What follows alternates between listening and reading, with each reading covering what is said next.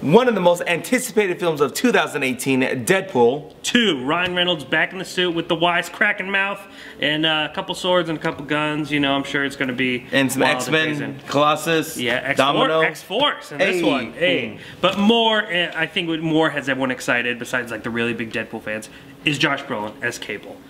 I'm super pumped to see him finally come and be in a film. Thanos. Let's go. Uh, you threw me off for a second. Yes, Thanos doing it again. How big of a how, how much can Josh Brolin make in a month? Let's see. find out. Let's see at the box office. He, he's going to be the key to superhero movies. Just cashing in. Yeah, yeah, yeah. Um, If you want to go, though, comment below, let us know, or text us directly at 702-348-5618. AMC Town Square, 10 o'clock, a private screening. Guys, anytime we have a screening here, it's always a blast. You don't have to worry about other people. It's always a great theater. We want you to be a part of it. ChaseCinema.com is known as Film Lovers website.